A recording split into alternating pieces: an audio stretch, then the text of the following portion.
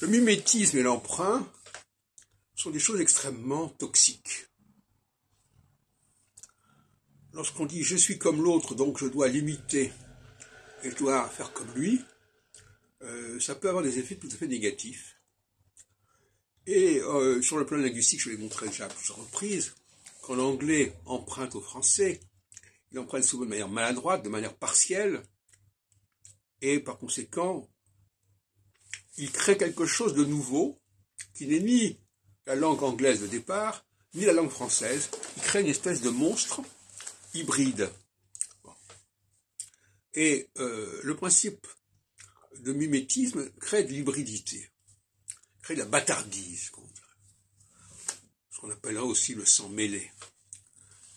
Et euh, ce qui crée du mimétisme, c'est notamment l'égalité. Si nous sommes dans un rapport d'égalité, donc ce que tu fais, je peux le faire. Ce que tu es, je peux l'être. Voilà. Donc on peut aller très loin dans ce genre de raisonnement.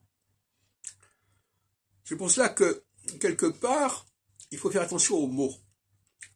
Utiliser le même mot pour désigner des choses différentes va créer de la confusion. Alors, en, période solsticiale, on va abuser de cette euh, utilisation d'un même mot pour désigner des choses très différentes. Nous sommes tous français, ok, donc euh, mimétisme.